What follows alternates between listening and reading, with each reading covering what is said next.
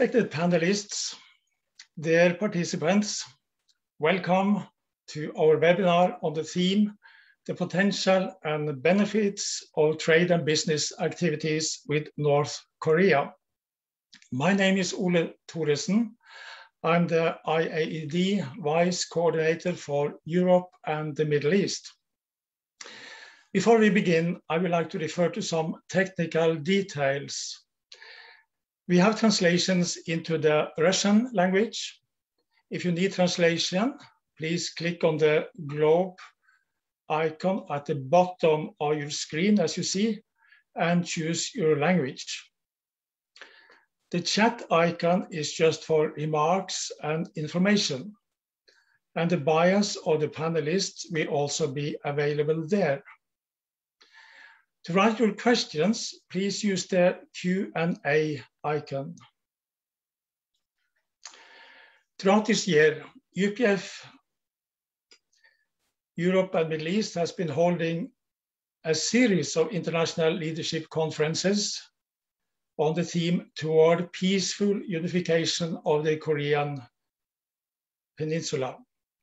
This webinar is part of three ILCs being held in June, July, and August 2021. This August conference focuses on prospects for economic development and peace on the peninsula. As you may know, UPF is an NGO with general consultative status at the Economic and Social Council of the United Nations. Its main goal is to promote peace and prosperity in the world based on the vision that humankind is one global family. To achieve this goal, UPF has created several associations that work in various fields. This present webinar is organized by the International Association for, for Peace and Economic Development, IAED, which, as its name indicates, aims to contribute to peace through harmonious economic development. Then let me introduce the moderator of this webinar, Mrs. Marcia de Abreu is the Secretary General of Women's Federation for World Peace Europe. In this position and as leader of Women's Federation for World Peace Spain for over 20 years, she has helped organizing conferences in several European countries, as well as uh, in Brussels at the European Parliament, and also had various uh, webinars in Europe. Now, it's my pleasure to hand over to you, Mrs. Marcia de Abreu. Please. Thank you, Mr. Toresen.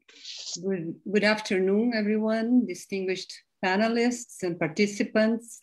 It's my pleasure to be the moderator for this session today.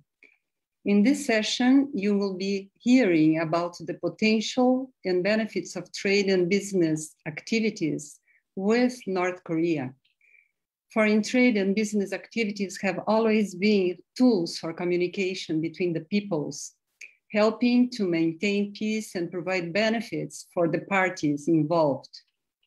Technology has increased these benefits by providing greater efficiency in the economy. With North Korea's nuclear rise seen as a threat by neighboring nations, the UN sanctions are currently blocking the country's trading capacity.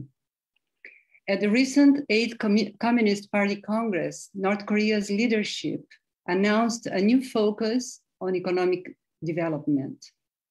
China, Vietnam, and other socialist countries engage actively in world trade. I would like to ask our distinguished panelists to consider the following questions in your presentations. Does North Korea have the potential to become an attractive destination for tourism, for example, from China, Russia, Japan, and South Korea? Is it possible to overcome the climate of distrust between North Korea and, it, and its democratic and capitalist neighbors? Could you suggest some concrete steps to start dissolving this distrust? Which North Korean products and services can attract international interests? What are the obstacles to international business with North Korea besides distrust? Can the resolutions of the January 2021 North Korean Party Congress boost business activities? Our speakers will offer their perspectives on what steps should be taken both by North Korea and the rest of the world to obtain the mutual benefits that international trade potentially offers. With this preamble to the discussions, I would like to introduce our first speaker now. Dr. Pavel Leshakov graduated from the Institute of African and Asian Studies at the Moscow State University from 1990 to 2021. Sorry, from 1990 to 2021, he was a lecturer at this institute. He was also a researcher at All Soviet Institute of Scientific and Technical Information from 2008 to 2012, he was the director of the International Center for Korean Studies at the Moscow State University. He is a specialist on economy and works as a consultant on economic issues for the Russian embassies and the Russian Ministry of Foreign Affairs. He is currently a counselor of the Russian embassy in North Korea, where he has been working for over six years in this capacity and is a consultant for the Russian embassy in Seoul. Dr. Leshakov, thank you very much for having accepted our invitation to share your knowledge and experience on the matter in this forum. The floor is yours. Uh, thank you. It's my pleasure to join your STEAM company and greetings from Seoul. I'm in Korean Peninsula now, but not in the north, in the south. And uh, actually, um, much of my life was devoted to North Korea. Uh, I already mentioned that I, uh, my first visit to North Korea was in 1977. Um, concerning the, today's topic, I would like to draw your attention to the fact that at the end of this year, we'll uh, uh, see, we'll celebrate or we'll mark the first decade of uh, Chairman Kim Jong-un leadership of uh, uh, North Korea, which is actually the official name is Democratic People's Republic of Korea. And that was very interesting days Uh, because uh, the country uh, uh, witnessed very interesting changes, especially in, in economics. Uh, in March uh, 2013, his father's Kim Jong-il military first Songun policy was replaced by Byungjin, parallel development of economy and building nuclear arsenal. Actually, the same uh, or similar uh, strategy was taken by his grandfather Kim Il Sung in the 60s when he was trying to create uh, independent country from China and from the Soviet Union. After a series of uh, uh, tests uh, of warheads, nuclear warheads, and successful launches of ballistic missiles, in December of 2017, Kim Jong Un declared complete uh, build-up of state nuclear forces. And uh, later in April uh, to, 2018, plenary meeting of uh, Korea's Workers' Party declared uh, that all efforts of the party and the country would be concentrated on socialist economic and construction. Actually, the, the uh, word socialist appeared for, for, for the first time for many years in this uh, statement. Uh, the transition from uh, military first to people-centered policies was confirmed by the eight-party Congress held in January uh, 2021. Uh, the shift in uh, strategies resulted in very interesting developments. major of them I could mention first.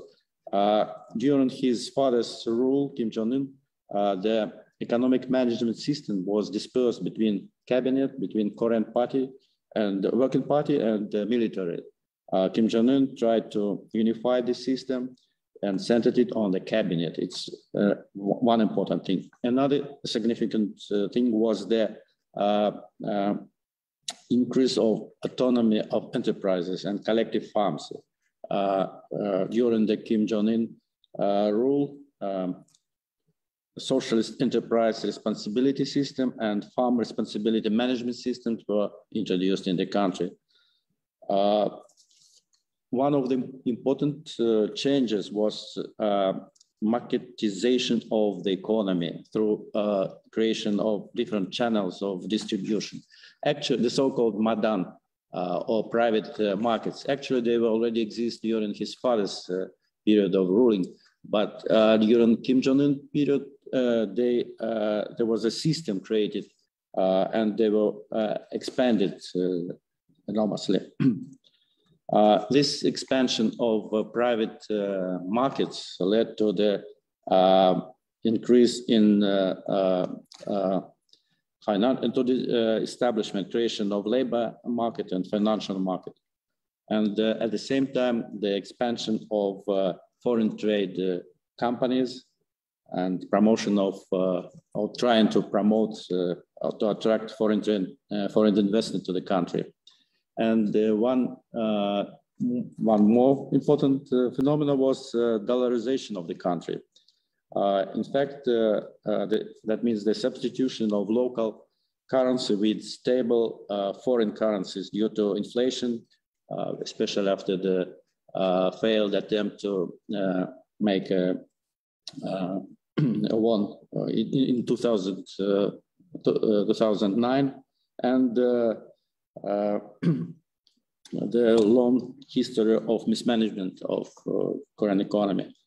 Um, in fact, according to the estimate of uh, Korean Development Institute, since 2013, around half of the ordinary uh, North Koreans uh, have relied on Chinese yuan. So we could say it's not dollarization, but more yuanization of the country as a local currency. Uh, and uh, also for daily economic activities. Uh, to summarize, uh, Chairman Kim Jong-un's strategy was aimed at achieving economic growth through the expansion of market system while maintaining the regime's stability through strengthening of government management of economy. Uh, expansion of actors involved in foreign trade and more autonomous uh, given to autonomy given to trade related uh, entities boosted foreign trade, which grew 20% uh, in 2012, uh, 2014, reaching the, its peak of uh, $7.6 billion in 2000. Uh, 14. And if you include the inter-Korean community, it was around $9 billion. Uh, more openness to world market, uh, mainly to Chinese market, led to rapid rise of consumer good and food imports. Uh, emergence of private market network and growing uh, consumerism of uh, Korean people enhanced by free circulation of cash foreign currencies and for availability of new goods on the market all these were very important phenomena and uh, uh, along with um, expert major source for hard currency for Korean, uh, well, North Korean labor sent uh, abroad to work. Uh, there were more than 100,000 uh, people working in China, Russia, and Middle East and other countries. Uh, all those developments were in principle favorable for business activities and potential and beneficially uh, for potential foreign uh, investors, uh, foreign traders. Uh, unfortunately, uh, strict international and bilateral sanctions imposed on the country since 2017 for, purchase, for pursuing nuclear missile program has left little room for North Korea to engage with the world economy. Uh, moreover, suicidal restriction of cross-border movement introduced by the regime at the outbreak of COVID pandemic uh, has worsened the situation to, to the point of, I guess, no return. In order to survive sanction and pandemic, Eighth Party Congress emphasized as its major strategy self-rehabilitation, self-sufficiency, and uh, actually, uh, that was the preparation people for another Arduous March, which they uh, envisaged in late 1990. in fact, the North Korea has gone back to this hermit kingdom, which is what um, uh, usually mentioned during the long, long period. Uh, of course, uh, North Korean re-engagement uh, with outside world, especially is uh, with legal businesses activity, business activities, is totally dependent on lifting of uh, international sanctions, as well as successful combating of COVID pandemics. Uh, the, the, possibilities of those changes in the nearest future highly unlikely. And moreover, even though uh, the sanction and pandemic are over, due to many uncertainties and risks, as well as specific mentality of local business. Crippled by outside restriction and by local zigzag policies, economic uh, cooperation with North Korea uh, will be a very uh, difficult road. Uh, and that's why I, I, I guess that the first place in the in this engagement should be started by state-owned uh, entities or uh, non-government organizations rather than private companies because the risks are very uh, serious, very high there. Uh, unfortunately, the situation now is like it was described uh, 20 years ago by uh, distinguished uh, American Koreanist uh, Marcus Noland, when he said that uh, there are two ways uh, Uh, the engagement, which could lead to uh, quick development of uh, North Korea, and just the isolation, which will just just the country will drag will dragging on with this with this um, situation of poverty, of uh, hardships and problems. And uh, uh, just to prove my, I should say that while staying in North Korea from 2013 to 2017, and the first part of this of the first years was, I would say, the golden uh, age for the businesses, including uh, foreign businesses. Unfortunately, that uh, ended. Uh, there were some.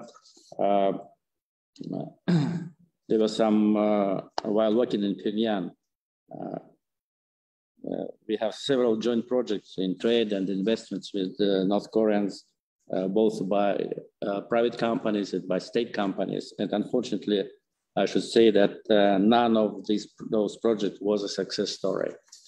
Uh, so uh, concerning the tourism, even the tourism, which is the easiest way to attract uh, foreign business, there are some problems like bad roads, and that means that transportation is very tiresome for the tourist. If you go from Pyongyang to Wonsan, which is the uh, so it, it takes uh, three hours on a very bad road, and you will be very very exhausted.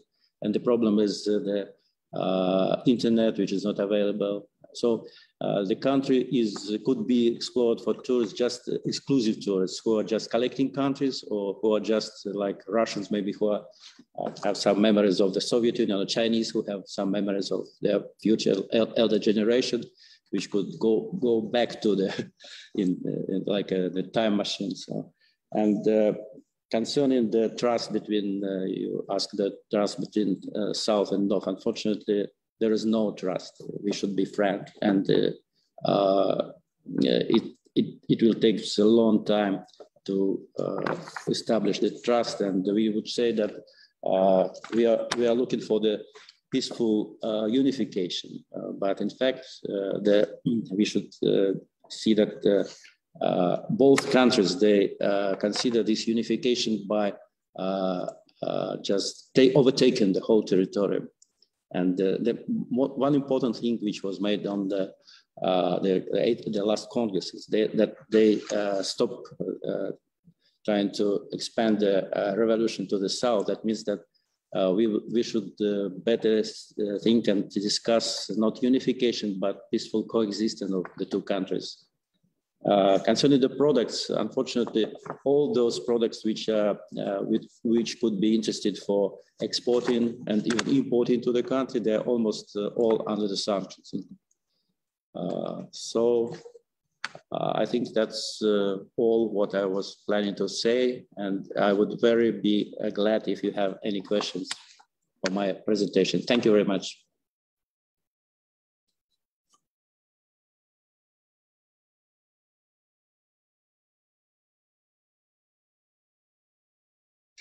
Mrs. De Abreu, please unmute yourself. Oh, I'm very sorry. Yeah. Uh, so am I on now? Yes, yes.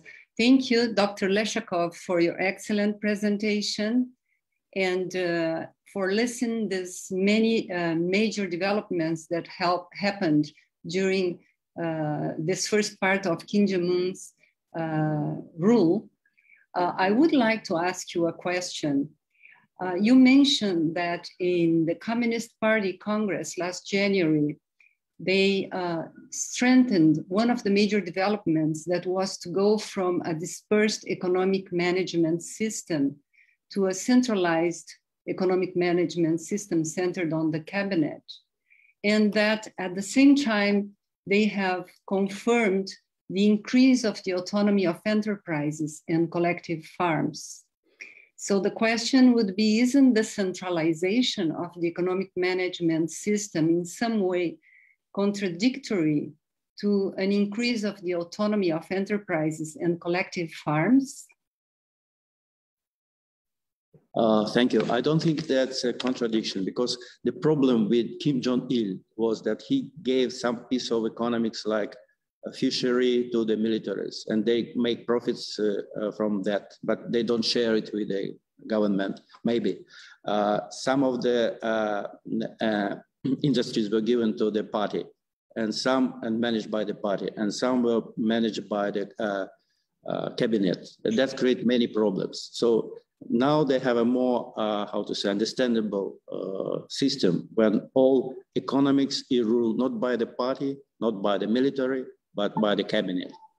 Uh, and it's, uh, it's not uh, directly related with the autonomy of enterprises and autonomy of collective farms.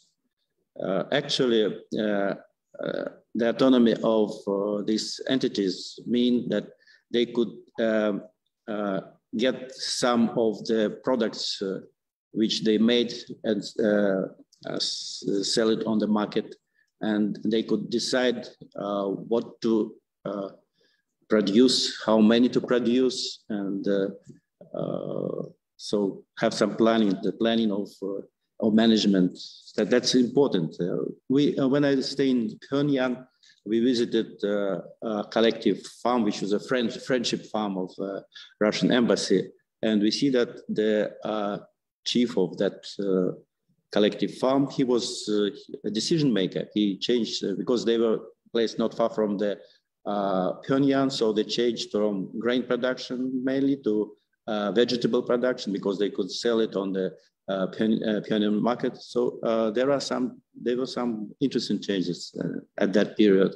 But unfortunately now, as uh, the situation is going from bad to worse, uh, maybe they will be going back to this, how to say, in Russia we have the same period which was called the, when the the government take everything from the entities, yes. It was okay. called the uh, military communism, It was called. yes. Thank you for clarifying this point.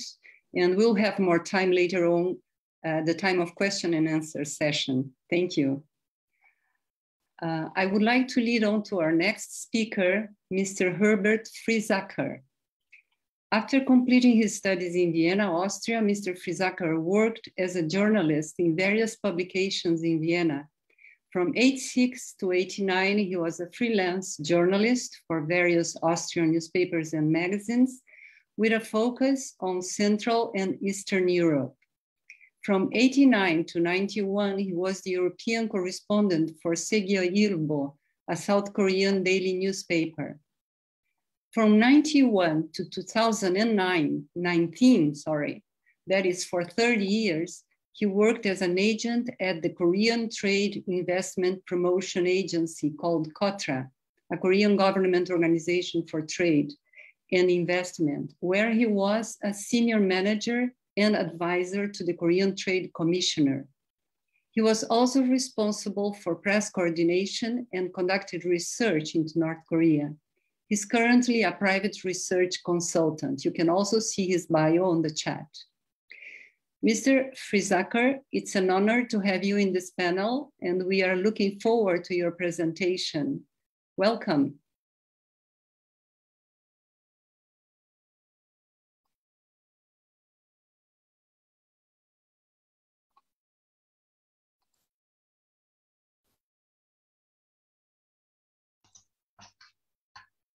So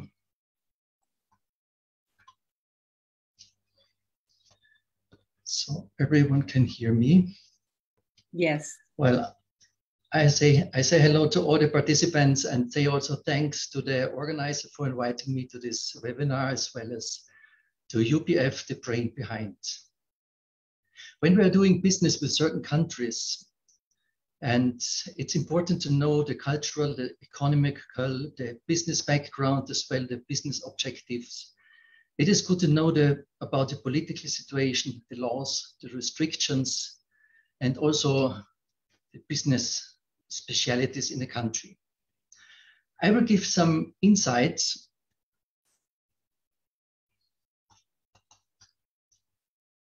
I will give some insights in North Korea's strategic economic goals for the immediate and midterm future based on the resolutions of the eighth DPRK Party Congress in January this year.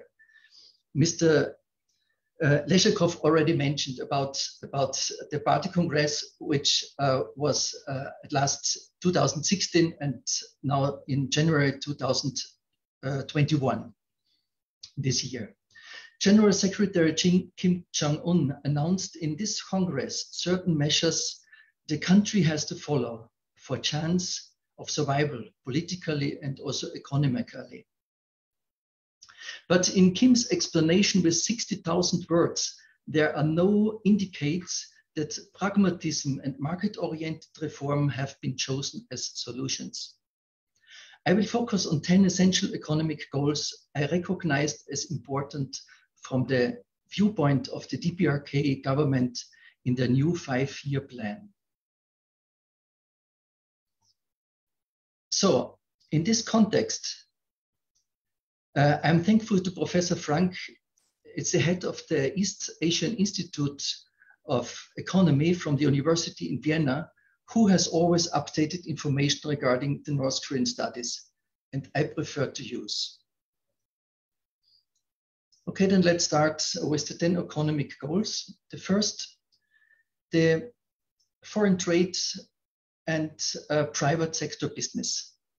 The trade statistic shows a dramatic development on country the country is facing now. North Korea imports decreased 45% from 2019 to 2020. Export decreased 72%. Also, to the, the pilot, bilateral trade with China decreased more than 70%. These are figures from the World Trade Atlas. Due to the sanctions policy, Kim Jong-un has decided to search for solutions domestically. The main strategy for the upcoming five-year plan seems to be domestic production of inputs, in other words, import substitution. This coincides with the North Korean Juche ideology what means self-reliance, to keep and develop the country in autarky. That means active trade with North Korea could be a challenging matter. And regarding the private sector business, it's uh, Kim Jong-un's intention to reduce the influence of private and semi-private economic activities. He reintroduced the dominance of the state, the ideology, uh, the politics in the economy. But why this measure? Maybe we can discuss later about. Second, the industry. Metal and chemical industries are identified as the key elements of economic development. Both are typically for a socialist economy and reminds me of a similar strategy used by South Korea in the 1970s.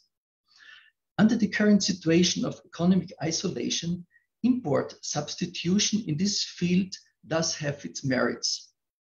as the products of these industries are key inputs for many other sectors too.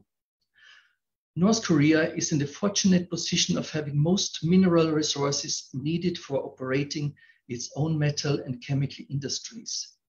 Plans to substitute crude oil with alternative inputs like coal have been promoted for many years in official publications.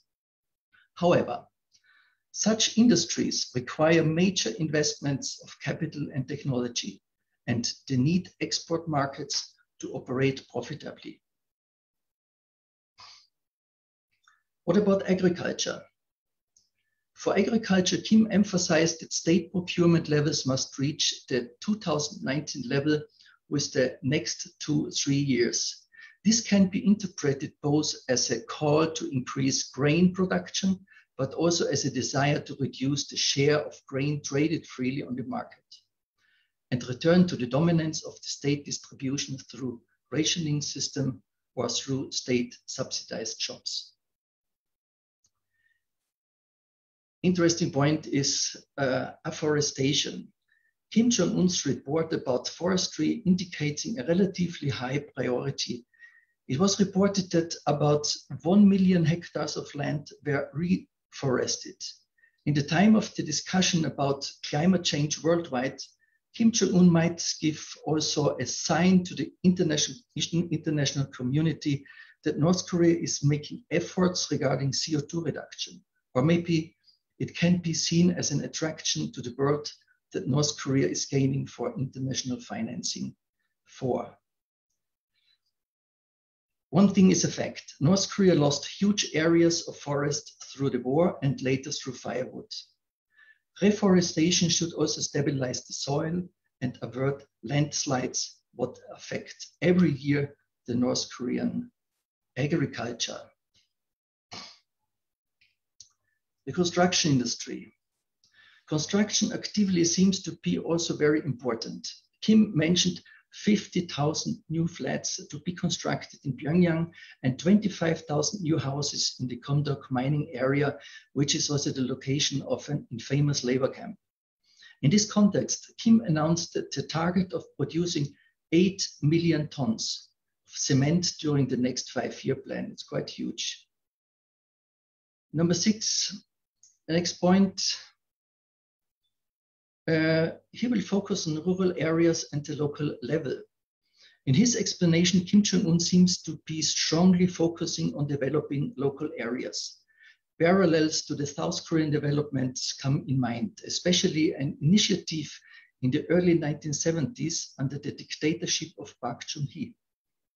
This was called the New Village Movement. It aimed at reducing the gap between the quality of life in urban and rural areas by such measures as improving infra infrastructure like roads or bridges, replacing thatched roofs with more durable materials, and promoting healthcare, education, and culture. Specific, specific economic policy measures in this regard, including the supply of cement for construction to the local areas. Next point is the development of mobile communica communi uh, communication and the ICT. Kim, Kim's demand is to introduce the next generation mobile communication. Cable broadcasting is promoted as a way to supply better entertainment to the people, but it is also a convenient way for the state to control the media, the media consumption of its citizens. In this context, it is also to mention that North Korea invited foreign telecommunication companies to be active in North Korea. For instance, Orascom from Egypt, they developed in a joint venture with Korea Koryolink the telecommuni telecommunication system and the Chinese Huawei secretly helped build North Korea's wireless communication. Also not to forget the well-developed North Korean IT companies who are specialized in production of software, as well as animations for Western companies. And also during the COVID-19 uh, time, North Korea developed their own video conferencing system. And they made efforts also for remote meeting and uh, telemedicine and remote education systems. The tourism. Tourism is to be promoted with two objectives in mind. First, make the people enjoy to have a more civilized life, which could either mean the development of domestic tourism or to gain revenues for local hospitality industries through foreign visitors. And second, to spread the change, the changing image of the country to the world. In other words, for propaganda purposes. And the Mount Kumgang resort in the southeast is mentioned specifically in Kim's report in the Party Congress. After a visit by Kim Jong-un before the Party Congress recently, it seems North Korea indeed intends to rebuild these tourism facilities, but the question is for whom? This will raise questions in South Korea about the possibility of continued cooperation and the ownership of South Korean assets. The next point, uh, they are planning to create a nuclear power industry. And this is relatively a logical step considering North Korea has chronic problems with the production of energy. North Korea has its own domestic uranium reserves and has made substantial progress in nuclear technology over the past few decades. Plans to provide nuclear power have existed already since 1994. And then we are coming to the, the last goal, this is, this is the relationship to China. And in these remarks on foreign policy and foreign trade, Kim spoke positively about the prospects for diplomatic and economic cooperation with the socialist countries, which seems to indicate the hope for closer cooperation mainly with China. This is not very surprising considering the few opportunities North Korea currently has and China's ability at the United Nations Security Council to veto the enactment of further sanctions on North Korea. Well, in summary, this is the track North Korea uh, economy might follow in the midterm future. Finally, the most important question, can these resolutions of the last DPRK party congress really boost business activities? My answer, I doubt it, but things can always change. And maybe there are some other opinions. Well, and I would like to, uh, to hear this picture. This is Cho Man-sik. He is just behind me. He is a freedom fighter against the Japanese colonization.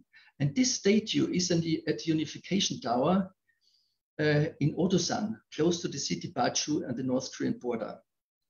He points with his finger to heaven, symbolically as a warning to North and South Korea to do their best for reunification. Thank you. Thank you, Mr. Friesacker. Wonderful presentation with many concrete points. And I'm sure there will be many, many questions from the audience. Meanwhile, I have a question to you. In regard to foreign trade, one of the points you mentioned, you said that the main strategy for the upcoming five-year plan seems to be import substitution. So the question is, is this import substitution to be based just on the public enterprises or will it include an increase of private production activities? Uh, well, basically North Korea, their supply chain is, is also planned. As a, as a trader, you have um, almost very less opportunities uh, to, to export to North Korea. And what North Korea needs, they are searching for. They have embassies all over the world in about 40, 45 countries about, and they are searching for their products they need.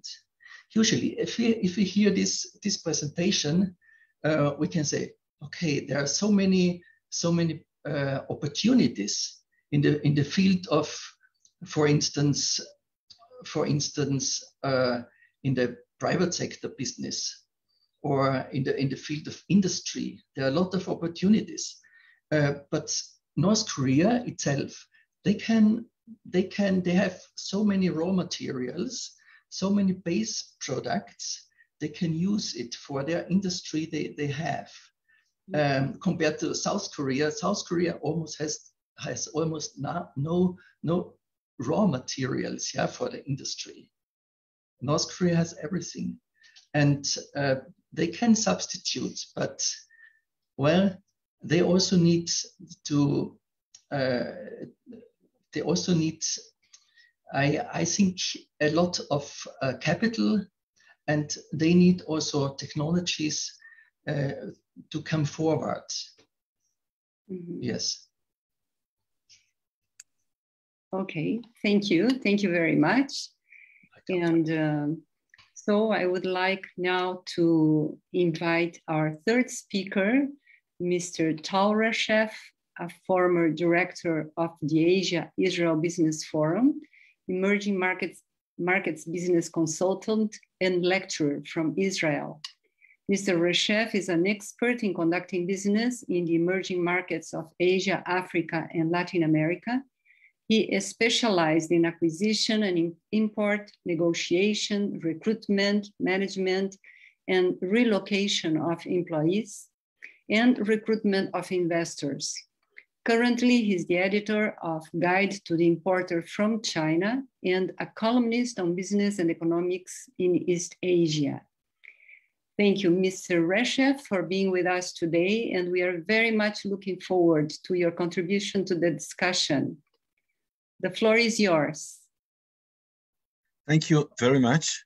And uh, thank, uh, special thanks to the two uh, distinguished speakers that preceded me.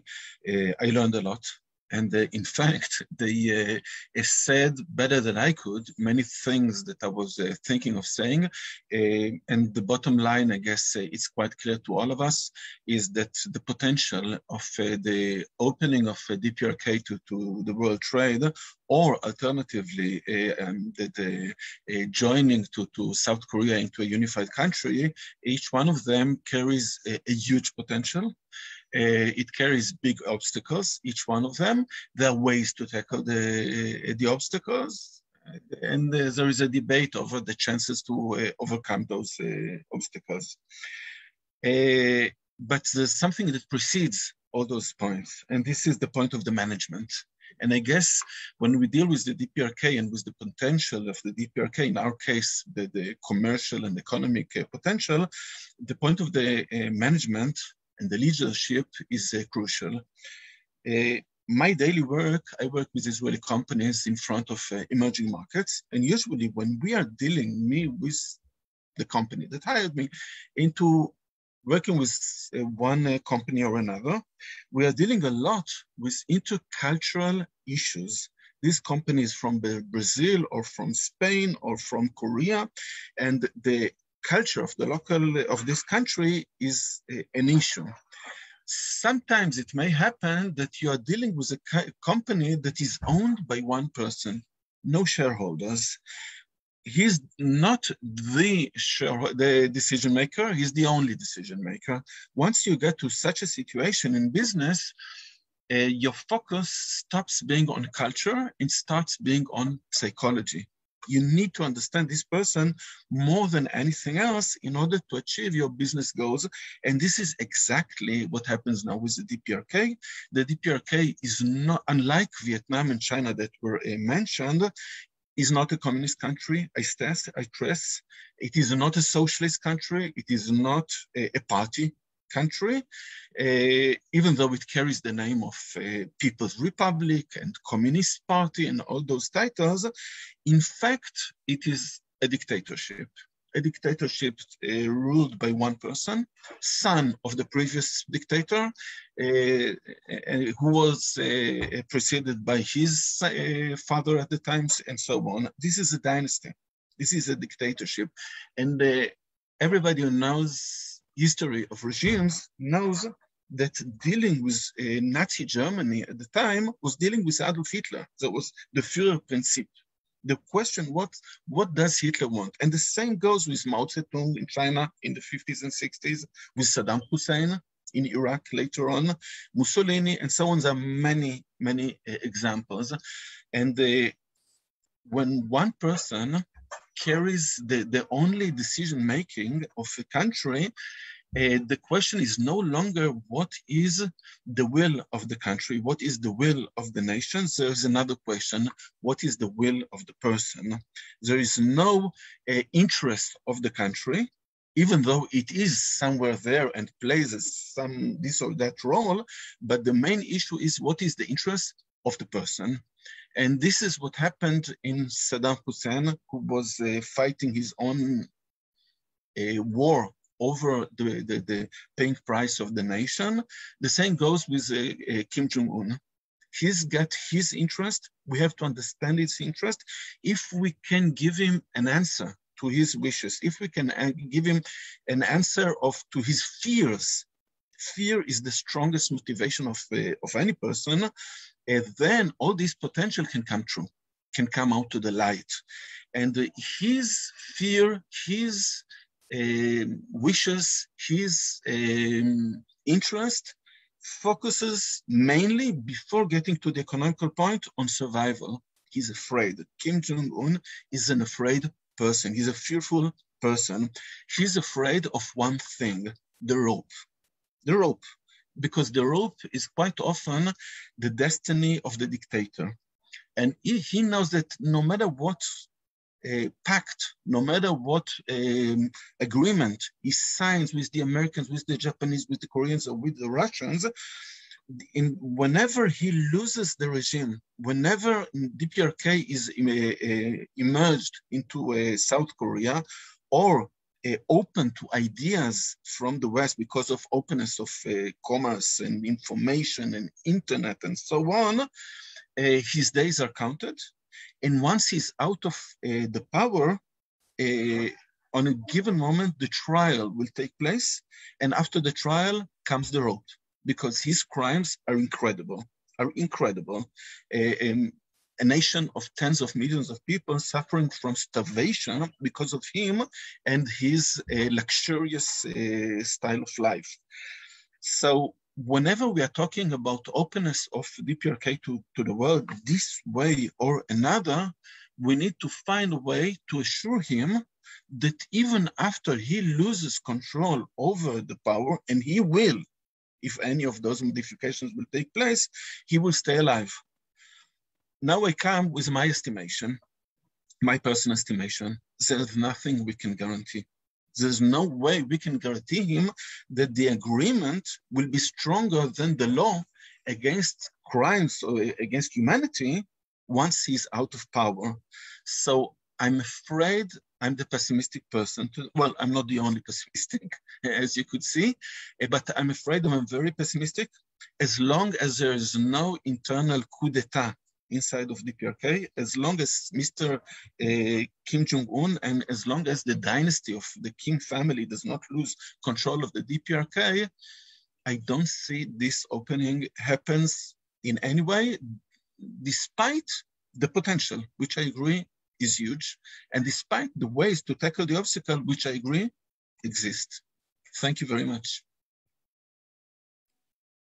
Thank you, Mr. Reshef, for for being uh, with us and clarifying indeed many aspects of Kim Jong-un's psychological profile and of course the consequences that it has for him and for the, the nation that he is leading. Um, I also would like to ask you a question according to your analysis that the ruler's motivation is a key factor to introduce changes in economy uh, how could Kim Jong un personally become interested in promoting trade and business activities in North Korea? Uh, first of all, it is clear that this uh, openness will benefit with this North Korean uh, economy. There's no doubt about it, and there's a huge potential for the North Korean economy. Together with this comes the danger of opening the DPRK people uh, to ideas from South Korea on from the uh, West in general that uh, uh, unbalances the throne of the Kim dynasty. So um, this is possible only if we think of a way that will open DPRK to the world in a way that Vietnam and China did, by uh, together with assuring that new ideas will not come in and change the inner situation in the DPRK. Vietnam and China were able to do that because they are not dictatorship; they are a um, party regimes. And in a party regime, there is a balance of powers inside of the party and inside of the regime that allows moving on and back and doing the right thing in order to be open and close on the same time uh, on the ways that you want. When it deals with one person, it is more complex, but if we or if Mr. Kim finds a solution to this opening without endangering him, yes, this is the solution. Yeah, thank you. Thank you very much. Thank you. Um, I have received several questions for the speakers, and um, I would like to start with uh, with in the in the same order in which you spoke. Uh, the first question so would go to um, um, Dr. Rashev sorry, Dr. Uh, Leshakov, sorry. Um, the question is regarding the money coming from North Koreans working abroad. Do we know which part of the economy it is going to go? Does it finances the, does it finance the nuclear built up? This would go to Dr. Leshakov. Uh, I should say that uh, some of the money uh, were, were going because uh, due to the um, UN resolution now, these uh, workers are either working illegally or not working.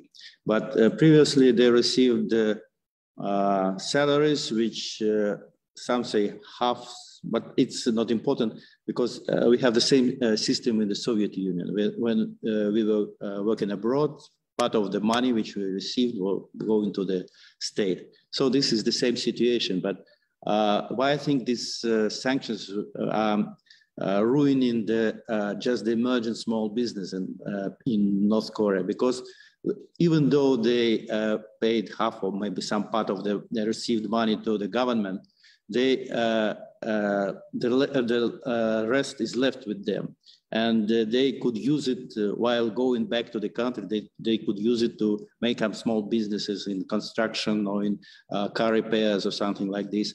Uh, actually, I know that uh, those workers who work for four to five years in uh, Russia, they could accumulate some five, four or five, or even up to 8,000 if they work additionally, $8,000. That were huge money as a start, startup money for doing some small business in Korea.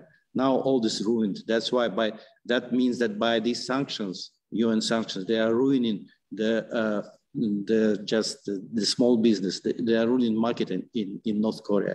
But uh, as for the nuclear uh, program, they need more um, brains than money. Uh, you know the most important thing when in Russia we were making nuclear project that was mathematicians who were uh, the most important, not the money. The same in, in Korea. They have good mathematicians and they could get money, right? Thank you. Thank you. Thank you, Dr. Leshakov. And my next question would go to um, Mr. Friesacker. Which sector of the economy would be a good fit for business cooperation between North and South Korea? Any examples of projects between the two Koreas?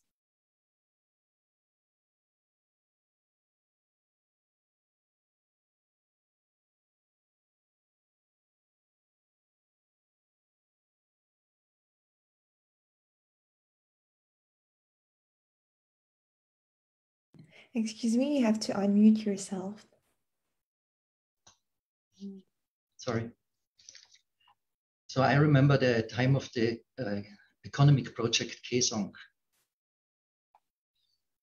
And uh, this was a real hope for, for closer, for closer, coming closer for both countries. And I myself, I had also, this was, I, I, I will a little bit explain. I by myself had a chance through KOTRA for marketing for this project uh, and inform local companies about the opportunities uh, to invest there.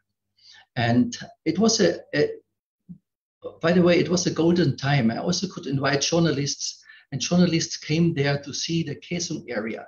The Kaesong area is uh, is close to the South Korean border in North Korea. Was established uh, 2000, starting 2002, and came in production 2004.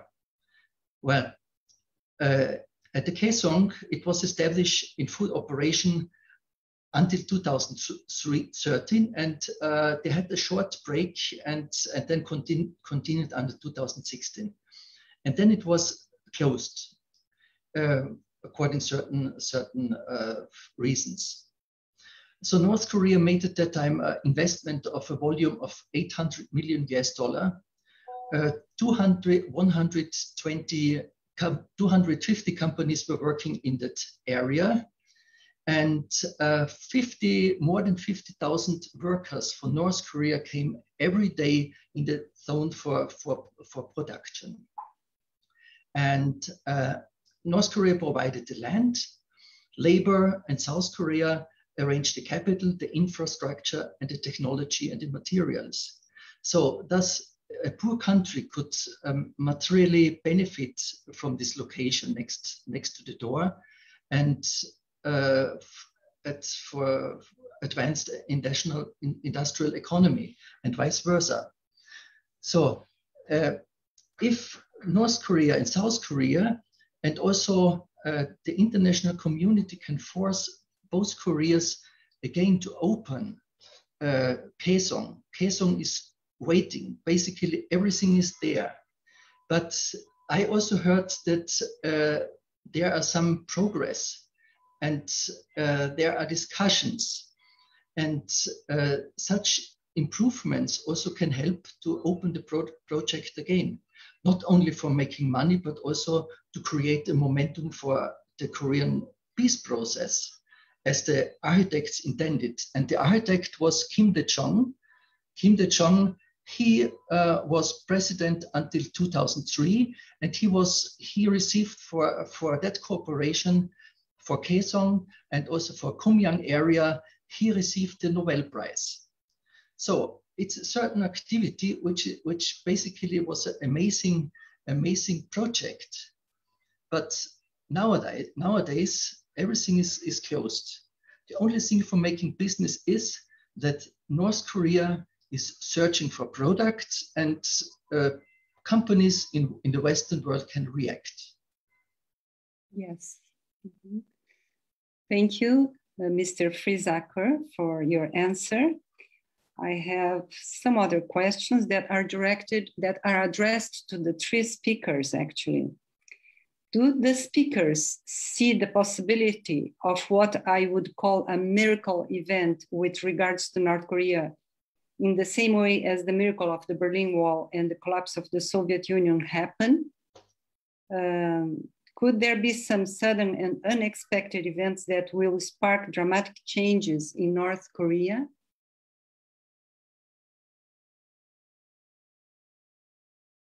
Uh, this is for any of you, and uh, if you feel inspired to try to tackle it uh, quite shortly, uh, I since as I um, presented the issue of DPRK is the issue of uh, one person, such a miracle can be only something that happens to such a person.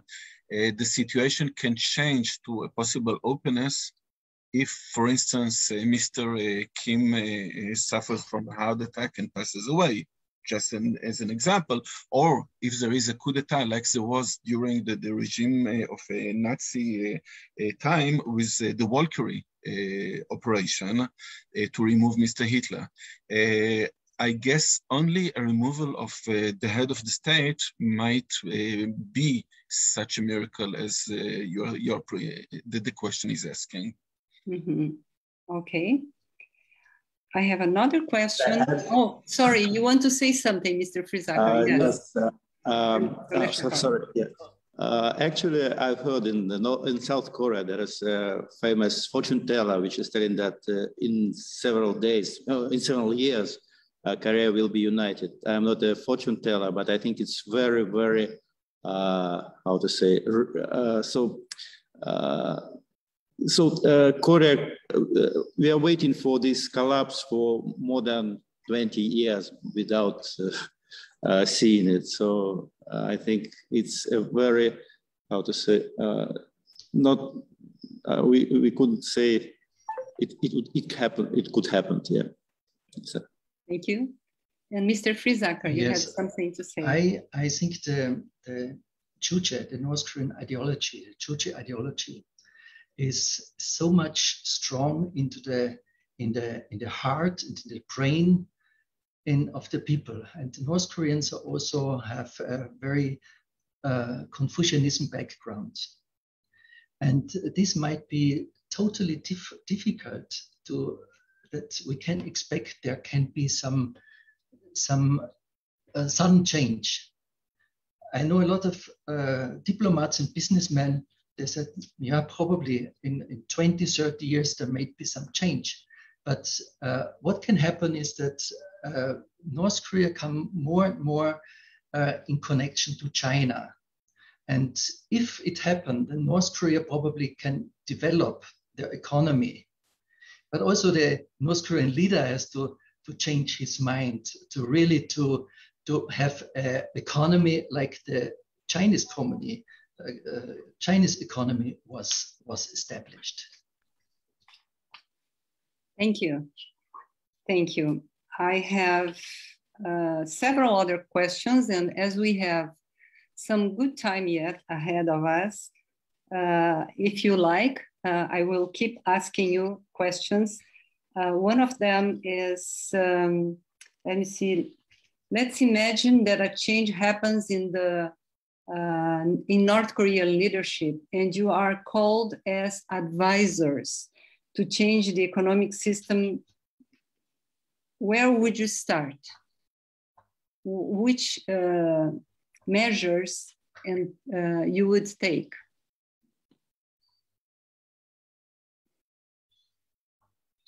If I can uh, try to answer it, I guess if I hmm. was an advisor to the North Korean regime and being asked such a question, I would uh, suggest them to start from developing tools for control of communication with the world uh, their tools for the moment are not so so strong because the level of uh, technology is not so strong. The control of the internet is not as strong as the Chinese one, for instance.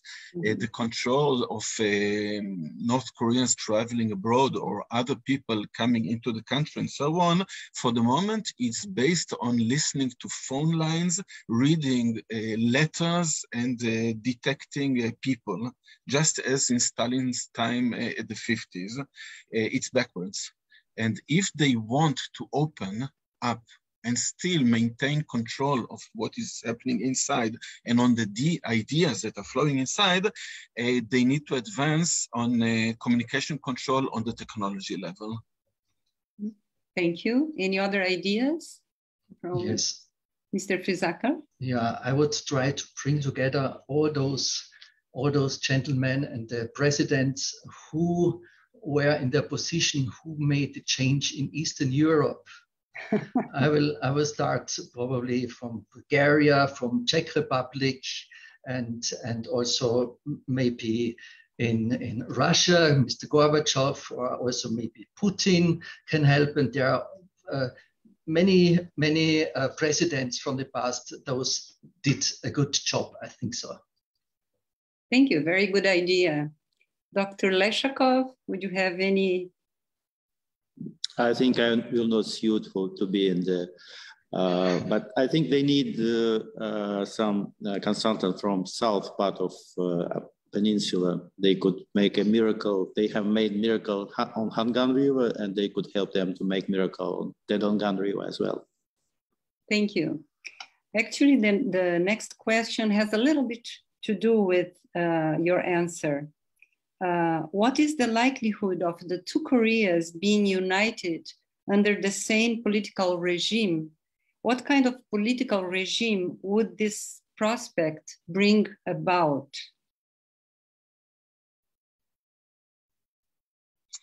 This is the $1 billion question. Yes. The South Koreans are expecting such unification to be in a South Korean way, which means democracy and human rights. Uh, the, the North Koreans are expecting to do it in the Marxist way or maybe in the, the dictatorship way. I don't know. Uh, but uh, it is clear that uh, such a, the, a, very clear formula is not possible if we do it in a democratic way, in an open market way. Uh, the, the, the, North Koreans will be the exhibit in a natural reserve visited by the rich visitors from other countries. Uh, it will be a humiliation. It will be a blow in the face. it is a bad answer even though many people think that this will be an answer, I don't see it happening. Um, to be honest, I don't know. Yes. this is the most honest I can be. Yes. You said at the beginning it's a very uh, hard question. Any yeah, other? Uh, yes, uh, I would like to uh, add, uh, as already mentioned, there are some very interesting changes now, at, at least in the north, uh, because they are now not speaking about the revolution on the south. They're speaking about uh, living together. That means that there is a change from, uh, because South Korea was trying to overtake North and uh, North also was uh, trying to, uh, thinking of the United Korea as, uh, as overtaken South, especially after the developments in Afghanistan. But now uh, they are speaking about coexistence. And that means that maybe they could go back to the proposals which were given long, long time ago by the grandfather of Kim Jong-un of making a kind of a first step like a confeder confederation of uh, two states with different political and social systems. Yes, thank you.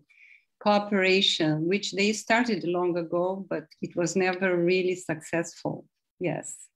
I have uh, an interesting question here, uh, and it's for the three of you. Will not North Korea adopt the Chinese model in developing special economic zones?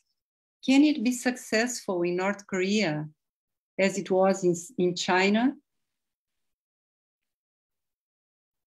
I should start saying that uh, it it wasn't successful already because, uh, if I'm not mistaken, uh, 2013, there were uh, some 13 uh, free economic zones arranged in different parts of the country, but they didn't uh, to attract foreign investors. But uh, it didn't work because of in, in, in, incompetence of the people who, had, who were doing it from the from the one point of view, on, and on the other hand, from the uh, strengthening uh, sanctions uh, from international community. Thank you, Dr. Leshakov. Mr. Frizaker, would you like to say something? Well, I think so that uh, they tried to make, as Mr. Leshakov said, the economic, the work for the economic zones. They had three. Uh, there's one in the in the northeast. This is Rajin, and I don't know exactly what's going on there it's we don't have so much information. I know that the that Russia also uh, made the construction with the railway construction over there. I heard also that that China uh, took over the the board for 40 years, and it's the question what's going on there. I really don't know. The other the other um, is uh, on the on the Yalu River the, this bridge to China, they also they expect to, to make a, a economic zone. And well, I propose that they are so clever and start again with, with Kaesong. Kaesong really was a peace project. And it's the question if they should start again, because this really was a business opportunity. And when the Kaesong project was opened, many, many other businesses developed. And I remember this was the time when, the, when we had the highest turnover of, of international trade with, with, with North Korea. I propose reopen of Kaesong. Kaesong. Okay. And uh, Mr. Reshef, would you like to say anything? Uh, yes, I think there are, uh, if we take the example of uh, China, of Deng Xiaoping, uh, creating special zones and compare it to the DPRK of today, we have two great differences that uh, might uh, lead us to to what we heard right now with from Mr. Friesacher. And this is, first of all, China is not the DPRK. The DPRK has got a little bit more than 20 million persons. China at that time, at the beginning of the 80s, uh, it was uh, already a nation of uh, 1 billion person or more. So the potential was incredible enough for big international companies to take the risk, and they knew they were taking the risk and invest in China a nation, a market of 22 million people is not such a huge potential and international companies are not ready to take risk when entering into such a small uh, market. And the second point is the difference of personalities. Uh, Deng Xiaoping was an old man at that time. He had a lot of power. He knew that his days are counted. It was after dozens of years after the regime of Mao Zedong, when he was trying to create the reforms, and Mao Zedong avoided it by any means that he had, and he did any many. So Deng Xiaoping was motivated by the will to achieve a huge difference in the history of China in a very short time, and he did. I don't recognize that Mr. Kim has a motivation of that kind. Thank you. Thank you for your answers. And I think this, the next one is going to be our last question um, related to, to economy, of course.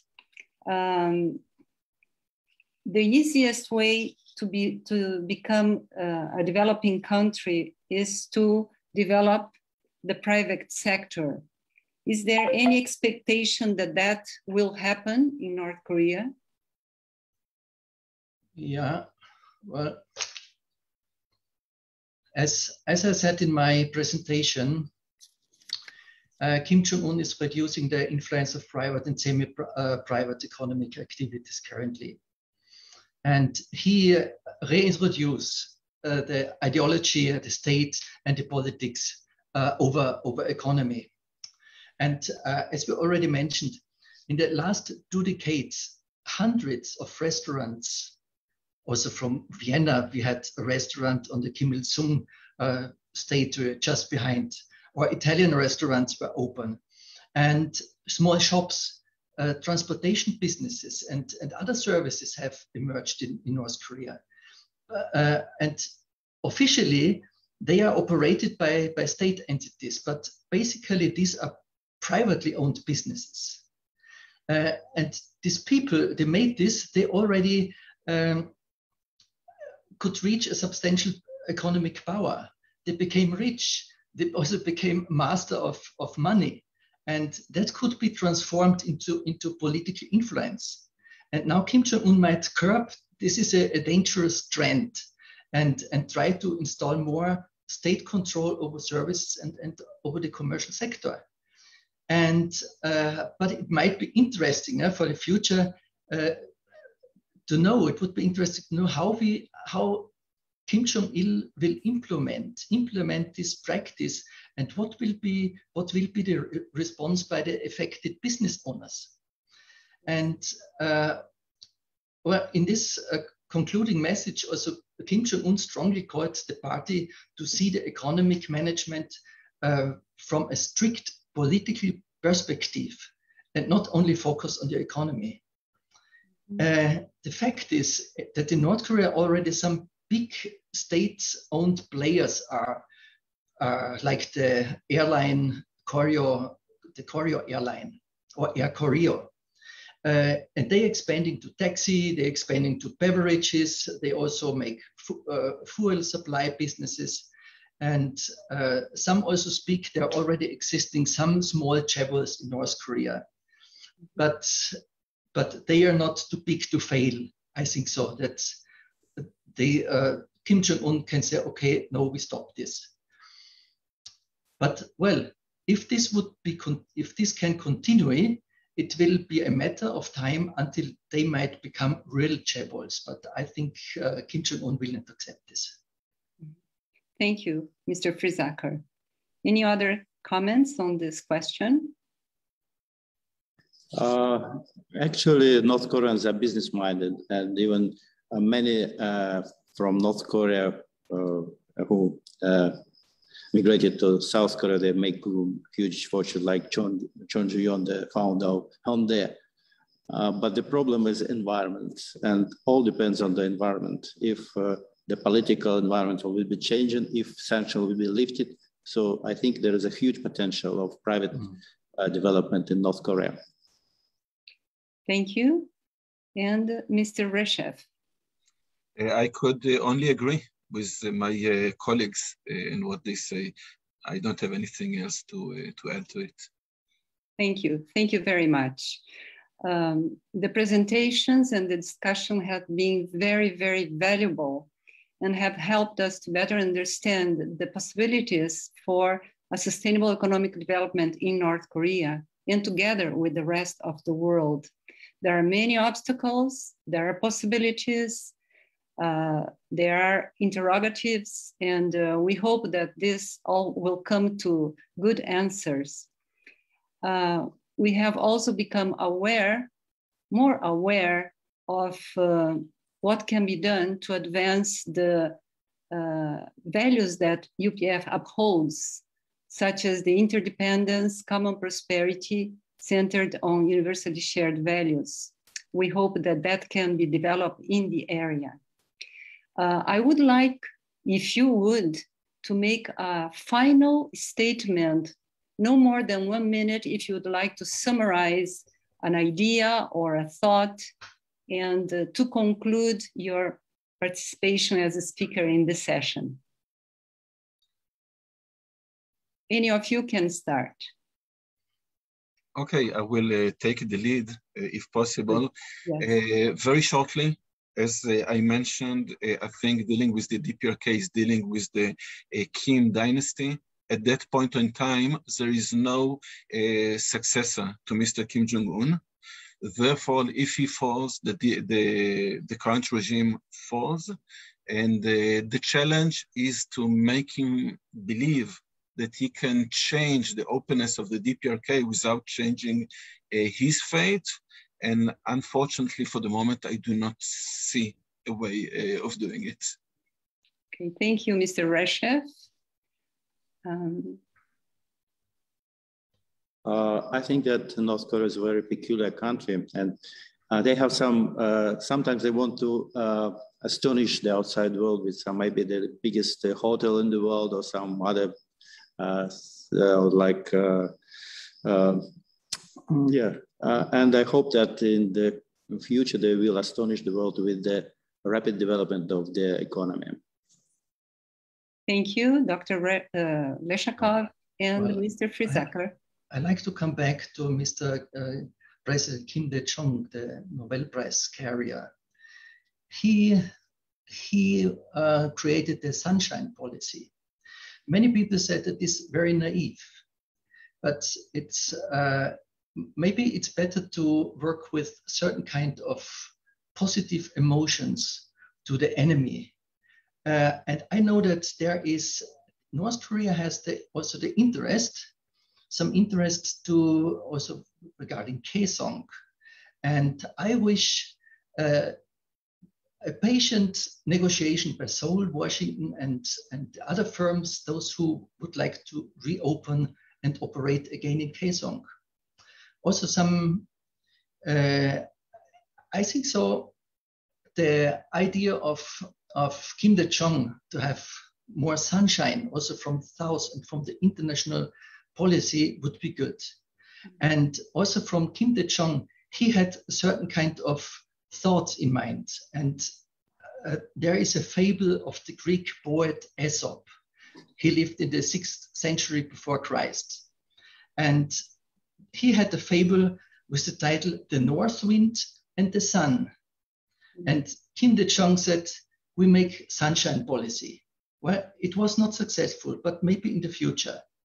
And Nobel Prize carrier Kim Dae-jung argued that sunshine is more effective than strong wind in making North Korea come out of isolation and confrontation.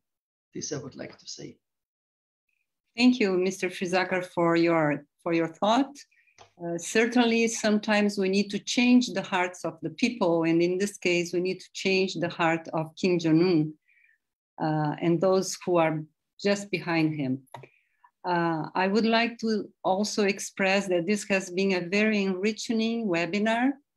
Uh, thanks to our dear panelists who have experienced, studied, and know so much about what's happening the, on the peninsula. Thank you very much for sharing with us. And uh, may you have a good day and uh, a good week and a good forever. So uh, before we completely close, I would like to announce uh, a next, our next session, which will be at 4 p.m. today. And there you go, it's on the screen um, for you to have a look. Uh, it's on uh, competing worldviews concerning Korean reunification. How much will they be a factor in the outcome with a very good group of speakers and very enlightening. So thank you everyone. Thank you to all the, the staff involved and everyone. Thank you. Have a good day. Thank, you very much. much. Thank you. Thank you very much. Bye bye. Thank you very much. Yeah.